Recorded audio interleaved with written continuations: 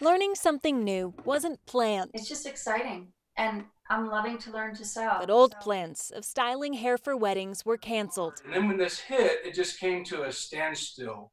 And it is something to see Giselle stand still. So Giselle Williams found a new skill on a machine that's just a little old. We don't sew. Uh, we didn't think we had a sewing machine.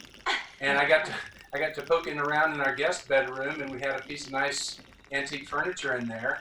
And it turned out to be Giselle's great great grandmother Addie Harrison's treadle sewing machine. And I thought, I wonder if we could make this thing work.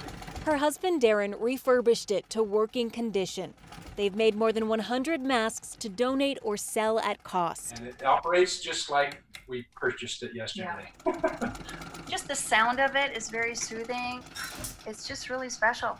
The couple says this vintage Singer was made in 1922. I feel like I've just opened up a, a whole new chapter. I mean, it's very rewarding. It's um, giving back. Old met new in an Arvada living room to try to make a difference. So we've gotten really busy really fast with one very simple antique sewing machine.